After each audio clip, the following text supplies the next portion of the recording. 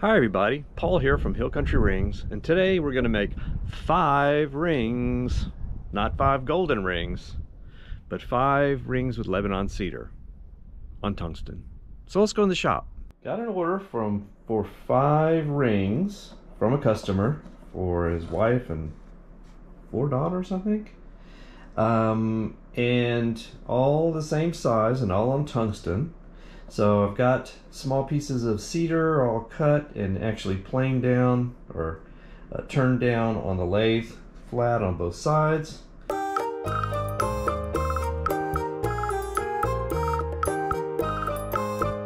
And ready to drill out. So let's go ahead and drill these out. We're going to drill each one of them out, kind of like a little assembly line.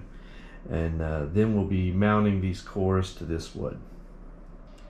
All right, so the ring is 18.58 millimeters in, diam in uh, diameter. So I'm going to go ahead and chuck up an 18 millimeter Forstner bit and drill out that wood.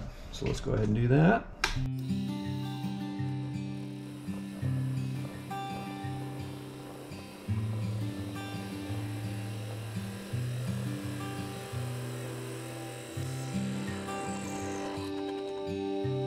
Well, we're not still not fitting the ring yet. It's close, but not yet. So I'm going to go ahead and use my patented sanding device here to open up that hole just a little bit so we can fit that ring core.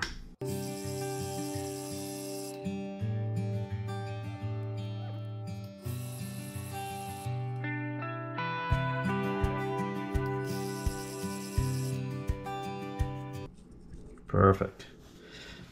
All right, now we just got to repeat that four more times. So there's all five of the rings uh, ready to be mounted, but they're drilled out and fitted, so they fit. They fit in there really good. So it's looking good. Okay, now we'll clean the ring up with denatured alcohol, the wood and the cores. And then we will bond them together with two-part epoxy. So let's go ahead and get started. I'm going to go ahead and put on my uh, respirator. So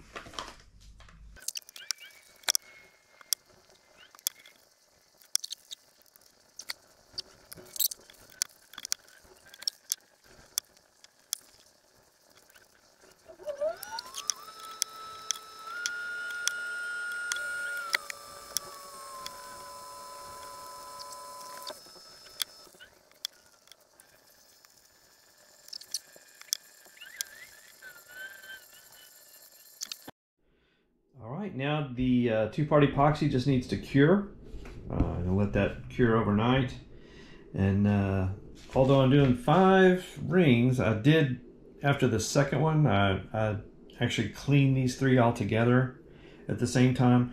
But each one is done with a separate batch of epoxy separately. So I don't try to like do two rings with the same epoxy because that is so critical to get a good bond and don't want to scrimp on that on that uh, stage. So just gotta let them sit. All right, it's the next day. The two-part epoxy is all nice and cured. So we're gonna go ahead and cut these guys out more round on the uh, bandsaw. Maybe just sand them a little bit on the sander so that when I put them on back on the lathe, they don't catch the corners. And then we'll be just making sure that uh, the wood is flush to the metal they're, it's really close because this uh, I had cut this down to be just a little bit over six millimeters so that should be real quick.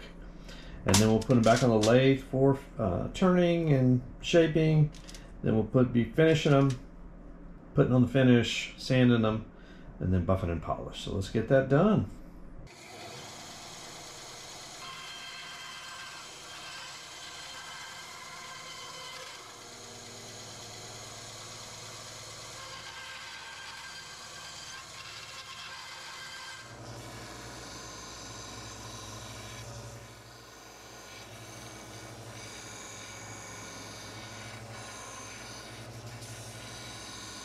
All right, let's do some hand sanding.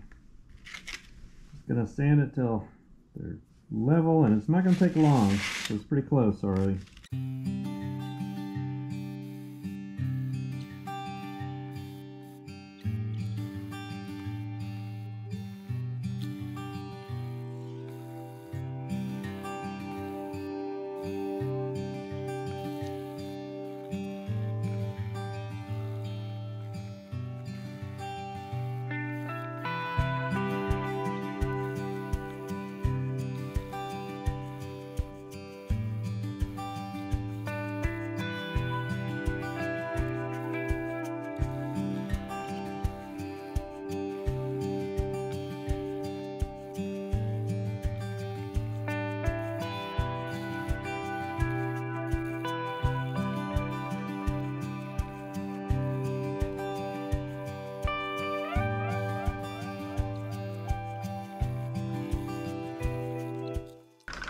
All right, so we got them sanded on both sides.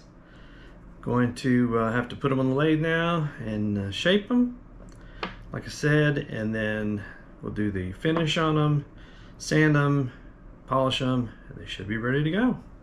And I think I have explored the limits of what one sheet of sandpaper can do.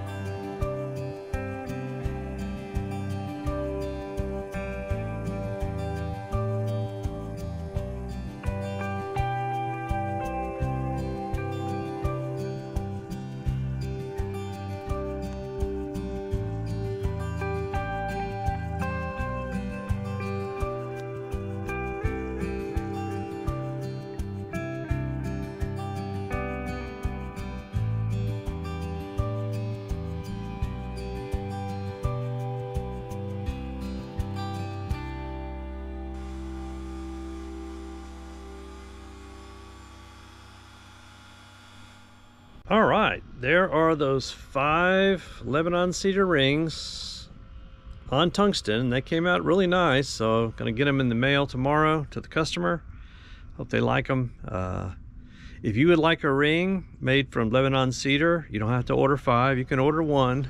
Or from the deck of a battleship or wood from an M1 Garand or from a Major League Baseball bat, please check out my site. It's hillcountryrings.com uh, do custom woods, do a lot of uh, custom work, and uh, love to make a ring for you. So, thanks everybody.